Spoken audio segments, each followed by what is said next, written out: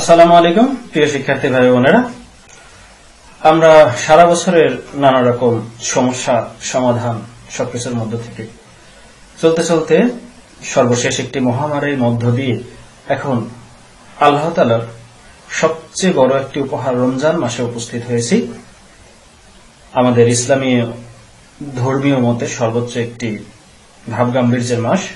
তো এ নিয়েই দুটো কথা বলার জন্য আপনাদের সামনে হাজির হয়েছি। আশা করি সাথে থাকবেন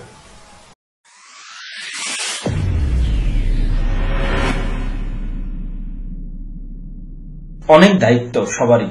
যেহেতু মহামারীর কারণে বেশিরভাগ শ্রমজীবী মানুষ নিজেদের শ্রম ব্যবহার করে অর্থ উপার্জন করতে পারছে না, সেহেতু আপনাদের যাদের সম্ভব, তারা যতটুকু পারেন সাহায্য সহযোগিতা। অবশ্যই রমজান মাসের ভাব গাম্ভীর্যতা রক্ষা করে আমরা যেন সামাজিক জীবন, অর্থনীতি জীবন, পরিবার জীবন, এবং অবশ্যই আপনার সোশ্যাল সাইটগুলা ফেসবুক টুইটার ইনস্টাগ্রাম ইউটিউব যে যেখানে কাজ করেন, যে যেখানে অ্যাক্টিভ থাকেন, এমন কিছু করবেন না, যেটা দ্বারা অন্যের ধর্মীয় ভাব গাম্ভীর্যতা নষ্ট হয় বা কিছুটা হলেও আঘাত লাগে।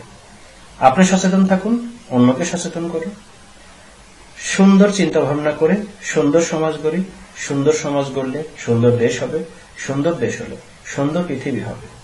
আল্লাহ তালা আমাদের সবাইকে তৌফিক দান করুন আসসালামু আলাইকুম রহমতুল্লাহ।